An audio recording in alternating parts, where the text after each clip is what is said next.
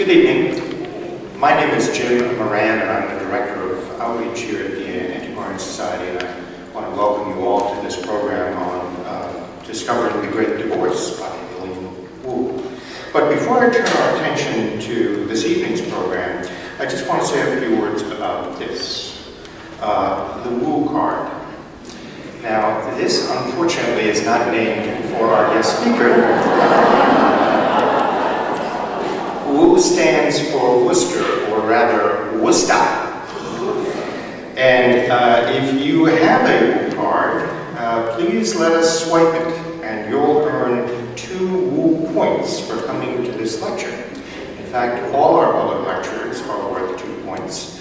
And uh, our public tours, which are held every Wednesday at 3 o'clock and are free, are also worth three Woo points. So uh, please come to all of these and bring your Woo card. And if you don't have a Woo card, well, you must get one. Uh, the Woo cards are the brainchild of the Worcester Cultural Coalition, and Woo cards add great value and enhance your experience with the vibrant cultural offerings of our region. With a Woo card, you receive discounts and special offers for cool concerts, dynamic theater, unique museums, magical music, street festivals, outdoor adventures, and more throughout Worcester County throughout the year. Please see the Read More About It sheet for more information about the Woo card and how to get one. Remember, while you can listen to Woo tonight, you can't get the full benefit of that Woo without this one. Tonight's program is co-sponsored by Fruitlands Museum.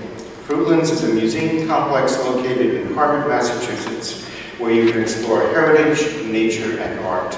The museum is on the site of the famed utopian community founded by Francis Alcott in the 1840s. The museum also features exhibits on American art, Native Americans, and the Shakers. And it is all located on a breathtakingly beautiful hillside. I urge you to visit the museum. It's a fascinating and gorgeous experience. Our guest speaker this evening, Ilyon Woo, holds a BA from Yale College and a PhD in English from Columbia University. She first came to the Society in 2004 to study in our library as a Kate B. and Hall J. Peterson Fellow. For those of you who may be joining us for the first time, let me just say the American Antiquarian Society is a national research library and learned society of pre-20th century American history and culture. Beyond that door there are 25 miles of shelves that house the printed record of the United States from the years 1640 to 1876. Some of our collections, including our pre-1820 imprints, are the most extensive in the world. We also host a wide variety of programs to foster discussion and study about our nation's past, including offering about 35 fellowships to academic scholars, as well as creative artists and writers. As I said, Ilyon first came to us in 2004 and had the opportunity, as she described in her fellowship report, to make new friends while reading old texts. As is often the case with our fellows, her time here was transformative she found great material in our archives, including the only known copies of the newspaper The Albany Gazette and Daily Advertiser, which helped her bring Eunice Chapman's legal struggles to life. She was also able to do a great deal of investigative work on Eunice's life in Albany through local directories, county histories, and legislative journals. But more than the work in the library, Ilyon's time spent discussing her project with the AAS staff and the other fellows and residents also changed the way she conceived the story and the way she would ultimately tell it. Such conversations are often a hallmark of researchers' work here at AS. While we are a library, our mantra is not shh, but rather, what are you working on and how can we help you? We have come to understand that the more fellows and researchers talk about their projects, the more they develop them. The combination of reading, talking, and listening can change a project in wonderful and unexpected ways. So please join me in listening to Ilyon Woo talk about her project, The Great Divorce. Well, first of all, I think everybody should go out and get a Woo card and, uh, and get double Woo points for listening to Woo tonight. So I have, I'm just so excited to be here, and I have so many thanks to express. I don't even know where to begin. In fact, I think the theme of the evening is going to be thank you. Um, I'll start first by thanking Jim Moran and um, for putting together this program, as well as Maggie Green, who hosted a really fun, dramatic reading event at uh, the Fruitlands Museum on Friday. But where next? I was thinking very hard about this, and I don't think I can think of a single area a single aspect of my journey with this book that doesn't owe something significant to the American Antiquarian Society. My go-to source for everything 19th century and more. What did Eunice Chapman's tell-all narratives actually look like? Were they pamphlets, as the Shakers said, or were they books, as Eunice herself boasted? What were they made of? Who made them? And how were they assembled? I had no idea when I started out. But Tom Knoles and David Whitesell helped me find the answers. I learned, for example, that printers had to press so hard to, um, to, to press the, the pages with the image that they actually um, grew lopsided. Um, when one side of their body was mus the muscles were bigger than the other. So who was in power when Eunice Chapman took her keys to Albany in 1815? What was the political makeup of the legislature? And how did it change from then until 1818, when she finally made history? Who else to ask but Philip Lampi? What was in fashion during the second decade of the 19th century? How did Shaker clothing, the sisters' baggy gowns, the brothers' short pants and wide-brimmed hats measure up to the latest styles? I had no idea. But Lynn Bassett, who was a fellow when I was here and who is now an elected member, certainly did. What was it like to travel at the time? What did people ride? How did they navigate the mud and the snow without four-wheel drive? What might it have been like for a single woman like Eunice to travel alone? Carolyn Sloat pointed me in the right direction. These are just some of the questions that I had coming into this project for which the AAS community helped me find the answers. But I'll go even farther than that, and I think it's safe to say that without the American Antiquarian Society, I would not have a book, at least not this one. I came to the AAS as a Peterson Fellow in 2004, knowing I wanted to do something with Eunice Chapman's story. What, I wasn't quite sure. I was fresh from a PhD program at Columbia University, where I'd written my dissertation on anti-Shaker narratives written by anti-Shakers and Shaker apostates, including Eunice Chapman.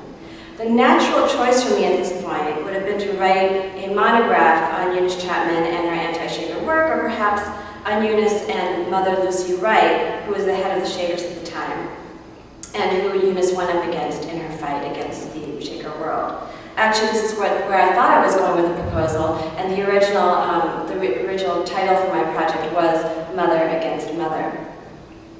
But I secretly yearned to do something different. This was a story, after all, about a mother's epic fight to recapture her missing children, with not one, but three kidnappings, thrilling legal battle, hot talk about sex, and a climactic mob attack, not to mention an incredibly photogenic and beloved Eusebian sect. I wanted to find a way to bring the drama and the period alive, and to a wider audience, perhaps even to the big screen. I remember sitting around this glossy wooden table where the fellows present their work, and hearing from the other fellows like Lynn and Carolyn Sloat and John Hinch and others, yet this was the way to go. And it wasn't just support that they gave me, although that itself was tremendous. It was next steps. One of the fellows here, Cindy Lobel, uh, put me in touch with a literary agent who took up the project on the basis of an idea and eventually sold the book to Grove Atlantic. And actually my um, uh, publicist's mother is sitting here also. so I could go on and on, but I'll stop now as you met, you have probably gotten a sense of the immense debt I owe to everyone. Besides, I haven't even gotten mentioned the primary sources that first brought me here, and truly, without these sources, I would not have a story to tell. It is a tragedy that the New York legislature lost all of its early records, which of course included everything in Eunice Chapman's case in a devastating fire. Every single scrap of information that would have brought life to the legal drama, personal depositions, records from committee hearings, interviews with the Shaker elders, burned to a crisp. I just imagine that parched yellow paper going up in flames and it just uh, gives me a big shudder every time.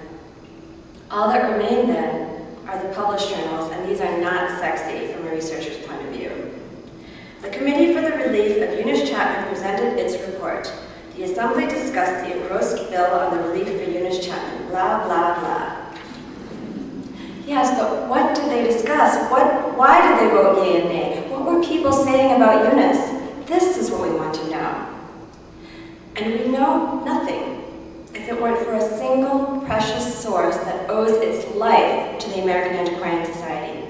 The AAS has the only remaining copies, at least that anyone knows of, of the Albany Gazette and Daily Advertiser, newspaper that brought news of Eunice Chapman's story to the world.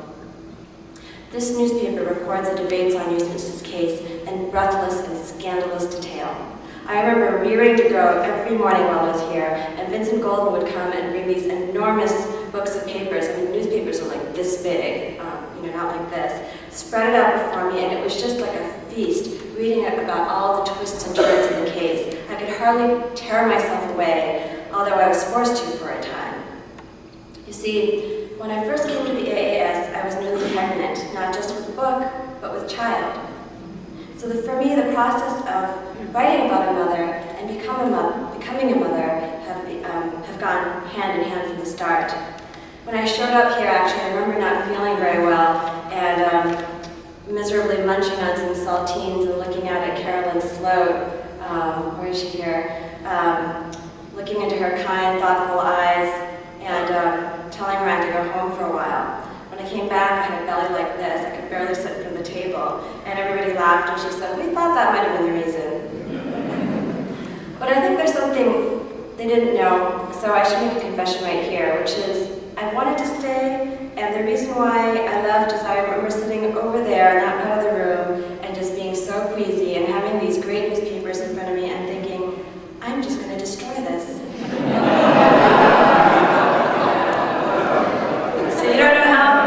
close you came, but I, I left. I left to save the papers. Yes. so fortunately, I got to come back, and then I read to my heart's content. I will never forget the feeling, the beating of my heart as I pored over that gigantic paper, my baby boy kicking away inside of me while the case came alive before my eyes. And what a case it was. Eunice Chapman's fight for her missing children enthralled all of Albany and beyond, and consumed the New York legislature for more than three years, all of which is amazing when you think about how it all began. It began quite simply with a bad marriage. Eunice Hawley and James Chapman met in Durham, New York, where James is a businessman, and Eunice's family had moved from Bridgeport, Connecticut. Neither was in top form. James was much older than Eunice, a widower in his um, early 40s, and he had a daughter from his first marriage, whom he had been left to raise alone. Eunice, meanwhile, was having some trouble on the marriage market, probably because of her family's financial problems, not to mention her advanced age.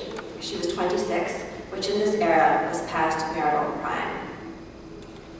Nevertheless, each had something that the other wanted.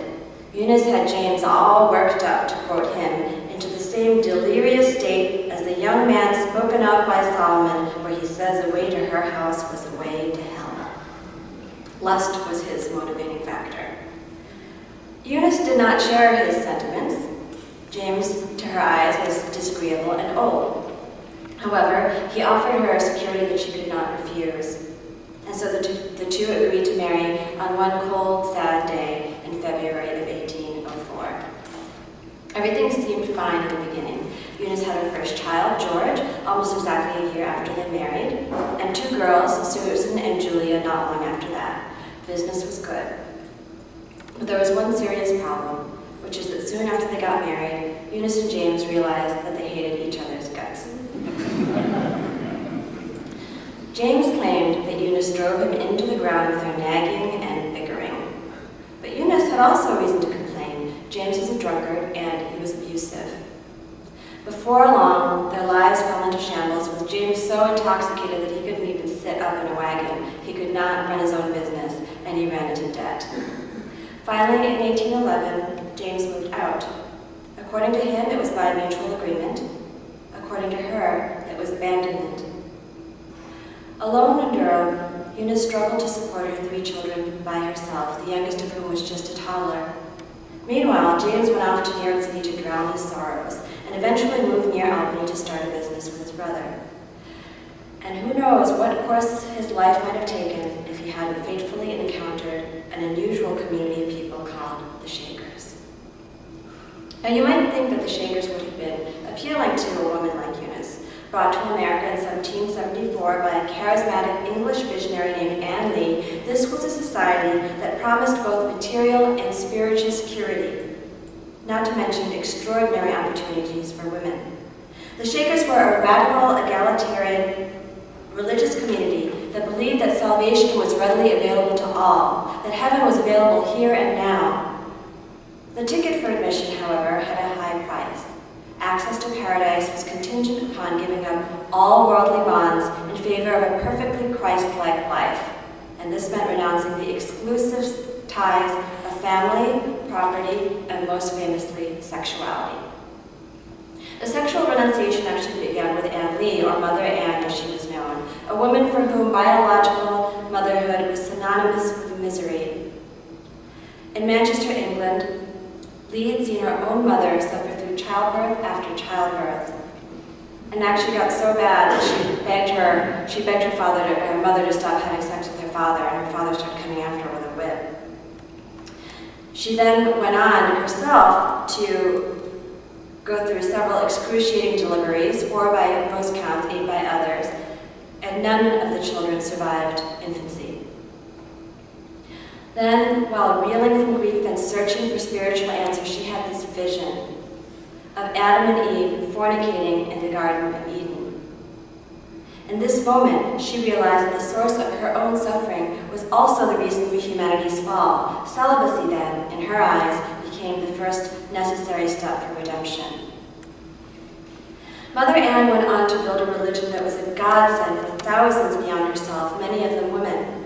The Shaker celibate communitarian lifestyle freed women from the endless cycles of drudgery and childbirth that were norm for most. This is not to say that Shaker sisters didn't work hard, they often worked themselves to the bone. But they no longer had to worry about where their next meal was coming from, how to clothe, feed, or manage their families. Shaker women labored together, and what's more, they could follow their spiritual calling and become leaders ranking equal to or even above the men.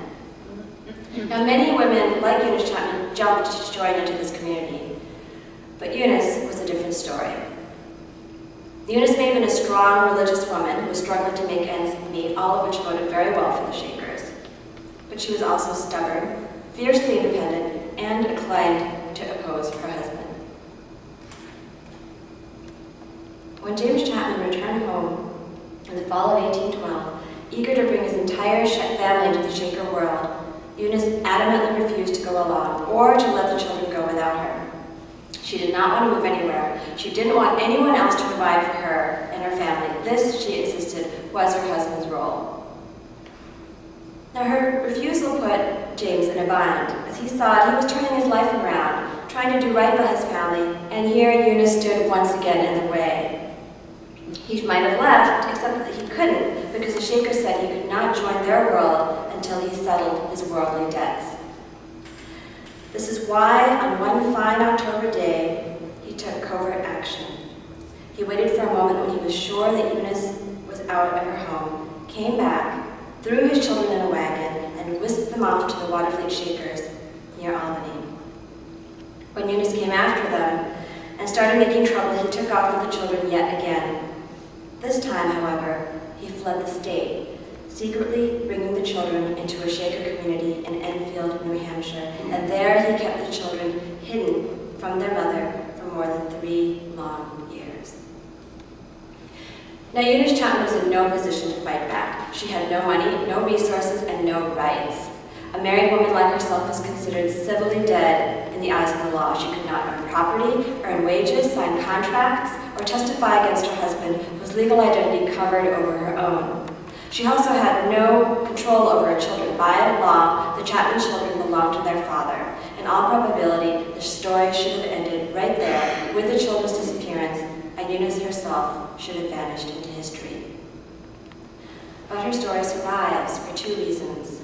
First, because this remarkable woman wagered everything in her fight for her children. Defying all expectation that she should suffer quietly through her troubles, Eunice Chapman took on not only her husband, but the Shakers and the very law and culture of her times in an extraordinary bid for her missing children.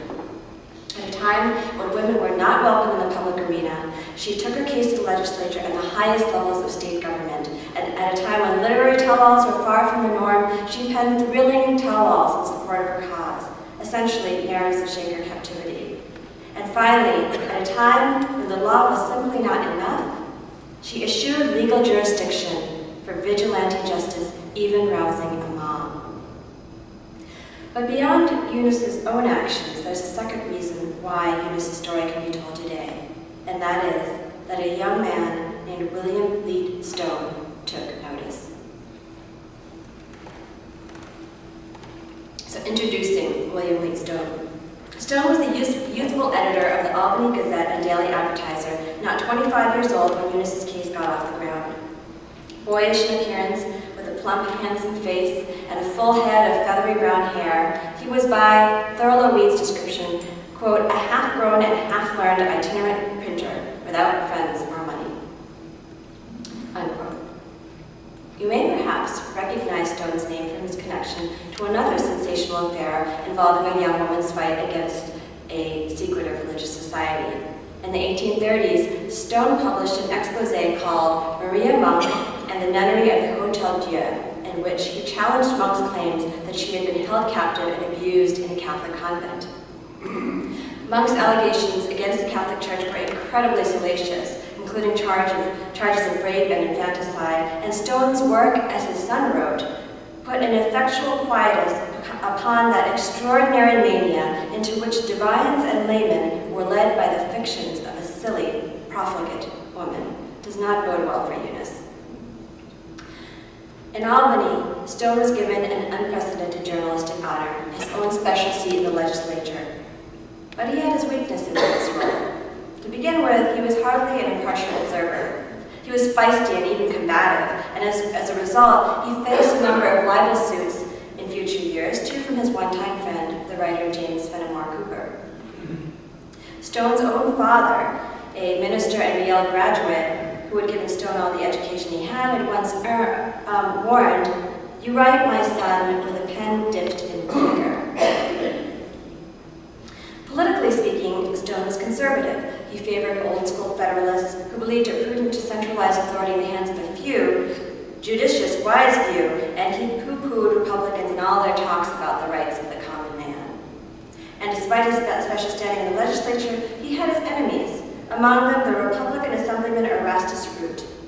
Known as a brigadier general, Root was popularly loved for his colorful wit, which he would use actively in Eunice's case, but Stone, for one, considered him a demagogue and came to despise him all the more because of Eunice. Yet, for all his faults and his eventual opposition to Eunice Chapman's cause, Stone played an indispensable role in communicating her story, above all, her legislative trials. Now, before discussing his contributions, I should probably say a, um, a word about a question that people frequently wrestled in, with in Eunice Chapman's own time, which is why she pursued her case in the legislature in the first place. And the brief answer to that is that legally speaking, she basically didn't have a choice. Not if she wanted rights to custody and divorce, not in New York. When it came to custody, paternal prerogative was so much presumed there was actually nothing in New York state law that indicated how a mother might take back her children from her husband. In fact, if you, if a husband could will his child to anyone, or children to anyone, even to his lover after he died, and there's nothing that his wife could do about it. Um, as for divorce, Eunice might have been fine if she lived just about anywhere else, where abandonment, for instance, was considered just grounds for ending a marriage. But New York law was exceptionally conservative when it came to divorce law, and it would remain so until last month when Governor Paterson finally signed no-fault or unilateral no-fault divorce into law.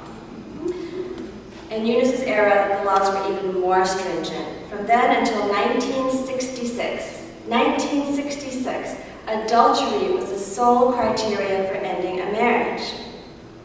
Now what this meant in 1815, before annulment was a possibility, considered as a possibility, is that even in cases of incest or abject abuse, husbands and wives were not qualified to be divorced, to be fully divorced. The best hope for a woman like Eunice was to apply for a legal separation, but this would not completely free her from her husband, and she would be unable to marry again. So she's just basically stuck with him for life. Now, technically, Eunice might have qualified for a, a, divorce under the existing laws, since she had testimonies from eyewitnesses, one man, for instance, who had seen her husband um, in a back room bed with a woman who was not his wife. She herself said, actually, that she had ocular, uh, uh, ocular proof of his infidelity, I'm not exactly sure what that is, in his own house. So lawmakers would raise this question again and again. Why is this woman bothering us in the legislature when she could just sue for adultery in the court of chancery, get a divorce that way? The problem was that proof wasn't enough. In this era, divorce was considered a punishment for a crime. And what scholar Hendrik Hartog has called a guilty mind was required. But Eunice was hard-pressed to present her husband as an incorrigible adulterer in need of punishment when he had willingly, voluntarily joined a celibate sect. You could say that he'd already punished himself. This is why in the winter of 1815, Eunice took her case to the capital to request a special act of relief that would grant her divorce and custody rights as an exception to the existing laws. Lawmakers were sympathetic right from the start. Within months of a petition, they actually passed the first ever custody law, which finally made it possible for mothers like herself to apply for custody of her children. Now the problem, though, was that for Eunice, she doesn't know where her children are. She does not know that they're in Enfield, New Hampshire. She suspects they're with the Shakers, but she doesn't. She can't prove anything. So how could she even begin to seek custody of the children when she didn't know where they were? So she was forced to go back to the legislature again. And this time, she took on not just her husband, but his people. Now the Shakers had developed a pretty good reputation in Albany by this time. They were known as hardworking, honest neighbors who lived in clean, orderly communities, which means a lot at a time when you're throwing slops out the window and making all kinds of mess. They were excellent producers who sold the freshest produce in town, not to mention all sorts of ingeniously crafted combs and buckets and brooms and things. They were, in short, perfect embodiments of the Protestant work ethic. And they had friends and admirers in high places, including Attorney General Martin Van Buren, uh, Buren, the future President of the United States. But the Shakers also remained vulnerable. These were uncertain times. Not just New Yorkers, but Americans at large were reeling from war and on the brink of financial panic, and that would strike in 1819. And strange things were happening. Snow in the summertime, terrible harvests, prices so high that many went hungry, and debtors' jails were overflowing. It was easy to become anxious about a group of people who seemed unusually prosperous, well-fed, and just a little weird. How was it that these Shakers fared so well while others suffered? What if they were not, in fact, what they seemed? Were they really celibate, or were there something else going on? Is it possible that they had other designs, ambitions to take over the state and nation? These were the kinds of questions that Eunice Chapman set into motion, one whisper at a time, in early 1816. And by the spring, at least one group of legislators became so excited that they proposed to kill off the Shakers, legally that is. That spring, a committee of senators actually proposed legislation decreeing that all persons having families and who shall hereafter attach themselves to the society called Shakers shall be considered as civilly dead, that their estate shall be disposed of as though they were really dead, and rendering them forever thereafter incapable of taking any estate, real or personal, by inheritance. Now, even in proposal form, this was a huge victory for Eunice. Think about it. Eunice's fundamental quandary was that being a wife, she was considered civilly dead in the eyes of the law. She had no legal voice against her husband. What Eunice achieved then, or hoped to achieve from this measure, was an exquisite reversal of roles, a true eye for an eye, if you will. In other words, if the legislature passed this act, which would, it would liberate Eunice from her marital bonds and proclaim the Shakers civilly dead, it would now be James and the Shakers who would be dead to the world, while Eunice herself would be civilly reborn. Now, this proposed legislation, as you can imagine, would generate enormous controversy in the coming years. How could it not when you're killing citizens off? Thomas Jefferson himself would weigh in on the matter, declaring that it threatened to, quote, carry us back to the times of the darkest bigotry and barbarism to find parallel, unquote. But that would be not for more than a year later. Astoundingly, there was not, there was no newspaper coverage of the proposed act when it was first introduced, not even in Albany, and there would be no coverage of Eunice Chapman's case until the following year, in March of 1817, when there was a small but significant shift on the first page of the Albany Gazette and Daily Advertiser. A change would have large consequences for Eunice. In that month, the name William Leete Stone first appeared on the masthead. From Stone's pen, we get for the first time a riveting and intimate view of what lawmakers were saying about a case that became much more than about one woman's troubles. This is a case that refracted essential questions facing the young nation. Questions about marriage, religious freedom, civil rights, sexuality, and women's roles. Should the Shakers be punished for allegedly harboring the Chapman children and for breaking up families? Or would such action constitute an infringement on their religious and civil liberties? Was Eunice Chapman so wronged as a wife that she deserved to be divorced? Or would freeing her from her marital obligations cheapen the institution of matrimony? What was marriage all about? At what point did the government need to intervene in a family's affairs and the affairs of a religious order? Would the legislature overstep its bounds by depriving James Chapman and the Shakers of their marital and custodial rights? Or was such a move necessary to protect innocent women and children? And finally, which was worse, the sexless Shakers who indoctrinated impressionable youngsters with their unnatural views, or Eunice Chapman, whose real motive, some allege, was not to be reunited with her family, but to remarry and have her sexual life restored. These are just a few of the questions that work their way through Stone's remarkable reports, which remain highly relevant today. In a blog post um, for the New York Public, New York Times editor Barry Gewen recently invoked Henry Meigs's commentary on Eunice Chapman's case to discuss the mosque building controversy in New York. Here are Meigs's words. Now I had actors during this at Fruitlands, so you'll have to bear with me as I try to channel some of these characters. The Constitution of the state guarantees equally the religion of all, the Jew who believes the blessed Savior and impostor, the Egyptian who worships a crocodile or an onion, the pagan who worships the sun, the Indian who pays divine honors to sticks and stones, the worshippers of Odin, the Chinese or the uh, Mahometans, all persuasions, denominations, or religions are equally protected. As Gewen observes, it's hard to see how Henry Meigs isn't relevant today. Now what's so wonderful about these reports of Stone, as you can tell from what I've just read, is that they don't just simply recall the speaker's points. They capture all the colorful oratory, the exclamations, the analogies, the rich language that brought spectators to their feet. We'd have absolutely none, none of this if it weren't for Stone. To illustrate this point, let me just read you what we have instead, lines from the legislative journals, which go like this. The House then resolved itself into a committee of the whole on the engrossed bill from the Honorable the Senate entitled An Act for the Relief of Eunice Chapman and for other purposes, together with the objections of the Honorable the Council of Revision thereto. The debates were had thereon and determined in the affirmative. Debates were had thereon in the passive voice, no less. Here, in contrast, is just one fragment of those fantastic debates which Stone provides in his paper. These are the words of Nathan Williams in the Assembly.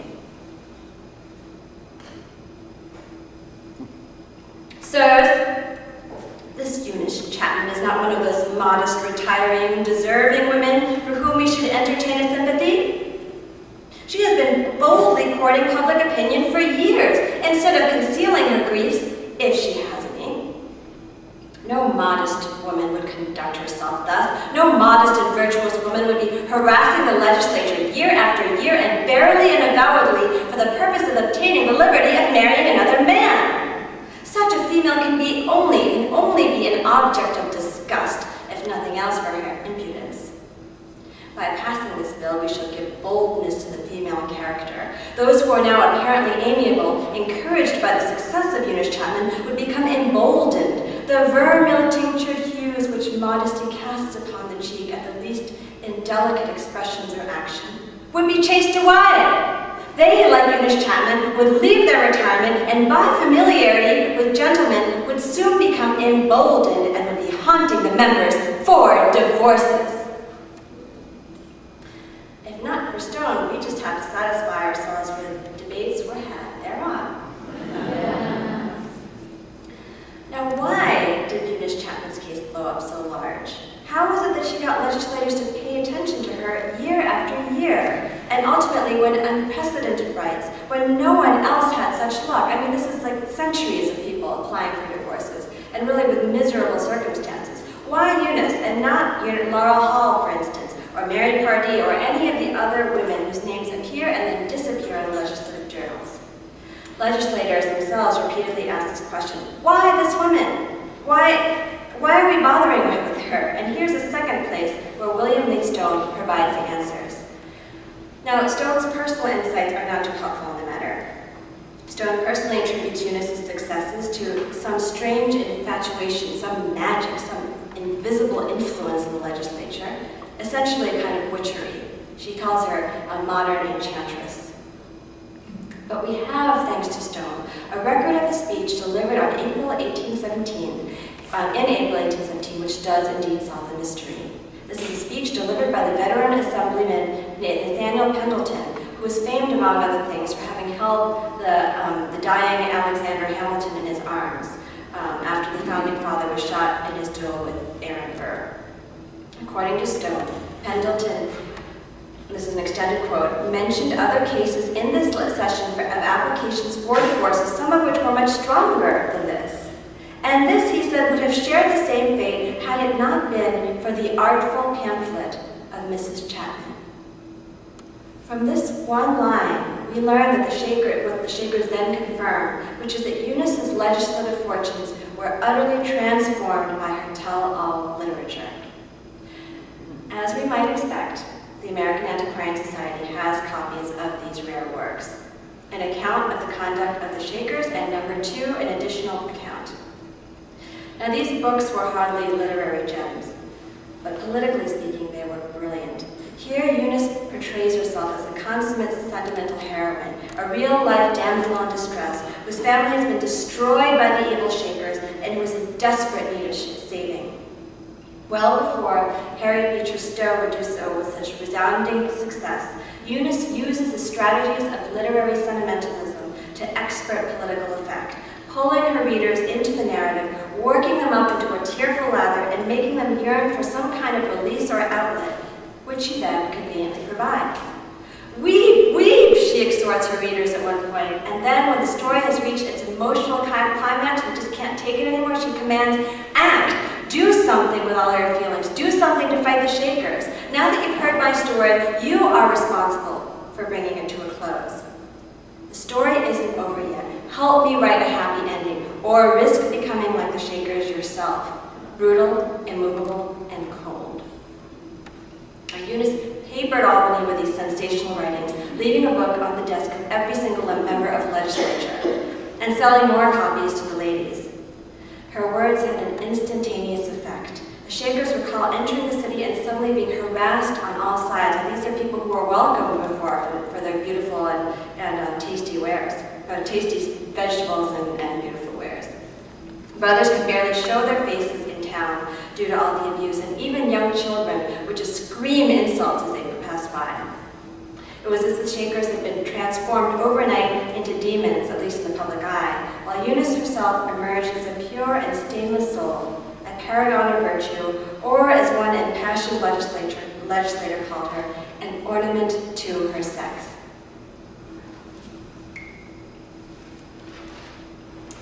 Yet Eunice was a much more complicated person than what appears in her published writings. And this is a third way which William Leete Stone proves helpful. He introduces us to the seamier side of her character, with, might I add, a good deal of glee. There was bad blood between Stone and Eunice, and I'm not entirely sure why it became so ugly. When Stone first began covering Eunice's case, he seemed to have been as charmed by her as everyone else, calling her a fair and fascinating petitioner. But there were a lot of pressing issues in the legislature at this time. The future of slavery in New York State, for one, the fate of the Erie Canal, which was far from assured at this time, and from the beginning, Stone made it clear that he thought that this woman was just taking up too much valuable time when lawmakers should be thinking about more important matters. And it's possible that his impatience just simply festered into disdain.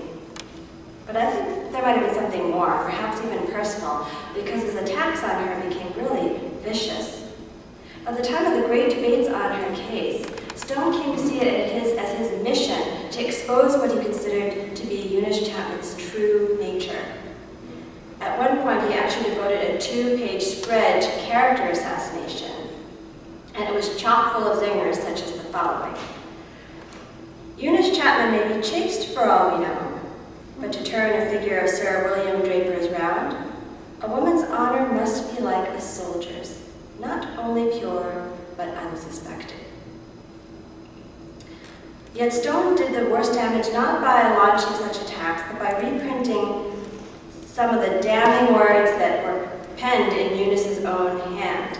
Thanks to the Shakers, Stone had copies of letters that Eunice wrote to the heads of Shaker Society, letters that she surely did not intend to be made public. And he reprinted these letters, which reveal a persona that could not be more different from the tortured heroines of Eunice's published words. I'll read you an excerpt of one letter which Eunice wrote to Mother Lucy Wright, the head of the Shakers, and she calls her Mrs. Lucy Goodrich, you'll see. Um, Lucy Goodrich was her married name. Mrs. Lucy Goodrich, I now call upon you to take the matter into serious consideration and judge whether you would not better hastily restore my children and grant me some compensation for all my trouble on your account, on account of your society's abuse of me and my children, and thereby prevent your complete overthrow. You know on what a foundation you stand. The sword of justice is lifted against you, and you cannot sheathe it unless you comply. Remember that a woman can be as mighty to pull you down as a woman was to build you up. If you think it is for revenge, remember that a woman can dive deep in that art, even to exceed an army. Pretty powerful stuff. Now that she's addressing another woman rather than a male public, Eunice exults in the powers um, and her powers, it sounds downright unwomanly with all that talk of revenge and swords, especially in contrast to the dignified Mother Lucy, whose letter Stone also reprints. Stone goes so far as to question Eunice's credentials as a Christian, demanding, can a mind that broods with delight, that thus feasts in anticipation of that cursed passing revenge, be well disposed toward a God who has commanded us to love our enemies? Nay, tell us whether a Christian would thus piously prostitute, thus impiously prostitute the name of the Almighty. The effect these letters had on the public was absolutely terrible. Eunice knew better than anyone else that a woman's reputation, as she put it, was her only dependence for her existence. The Shakers report, uh, sorry, the um, Stone's report um, and his uh, letters brought Eunice complete shame in town. She was absolutely mortified. The Shakers report on her actually trying to get Stone to publish another view of her characters, alternate testimonials, but to no avail. Stone categorically refused. Fortunately for Eunice, the worst of these attacks came after her legislative victory. Overcoming intense opposition from not just Stone, but many others, and after more than three years of hard lobbying, Eunice Chapman, as we know, made winning unprecedented rights to custody and the only legislative divorce ever passed in New York history. And thanks to Stone, we get a picture of that triumph. Votes were called in the Assembly, and in a landslide, 85 to 27, the House rallied to make the Act for the Relief of Eunice Chapman law. Now, Eunice, we learned from both Stone and the Shakers, did not behave in her most ladylike manner. I suspect that she'd just been holding things in for so long that she just, when she, in this moment of triumph, she just exploded. And in fact, she became so brazen by their reports that some lawmakers actually wanted to change their votes, but it was too late. But Eunice was not the only one whose behavior was out of line in this moment. Stone himself cried out, O tempora, O mores, or what times, what customs a line from Cicero that bemoaned society's moral decline. Stone would pay dearly for his partisan declaration, losing his seat in the House. And the war of words between Eunice and Stone just became unbelievable. This was when Stone launched his bitterest attacks against Eunice, and Eunice actually retaliated when he wouldn't print um, alternate testimonials in his paper. She figured, well, I'll just print up, print up another copy of my book, and I will I will avenge myself here. And um, here she, towards the end of her book, she refers to some Judaistic editors hired by the Shakers and their band to publicly insult the endearing affection of a bereaved mother. And she portends a terrible end for Stone in a mean little nota bene at the end of the book. She writes, the editor of the Daily Advertiser, W.L. Stone, in his several different papers since the 14th instant, has frequently complained of ill health, indisposition, and inability to. His disease appears to be truly alarming, which we think must prove mortal unless his physicians are able to procure for him now and then a restorative. And for some reason she writes in big capital letters, a bone to pick, with three exclamation points. I'm not really sure what that means. Um, but I think it just emphasizes how um, uh, vindictive she was in this moment. But in the end, neither Eunice nor Stone met the doom the other predicted or wished upon. Stone overcame his mysterious illness, and within two months of Eunice's legislative victory, he resigned as the editor of the Albany Gazette, moving on to edit other newspapers and debunk the uh, fictions of other silly profligate women, such as Maria Monk. As for Eunice, Albany was merely a pit stop for her as well. Her singular goal was to recapture her children, and her victory in the legislature, while it was an important part of the process, did not signify the end.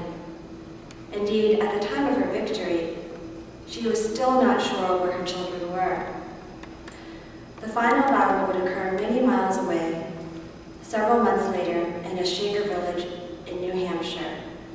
This was one strange night in May when there was snow on the ground and our angry mother, leading a mob, threatened to take the Shakers by storm. I'd like to leave you with some final words from the woman who led the way, words that we owe to William Leete Stone. And this is her letter to the Shakers after she got her law passed, or before she had her children.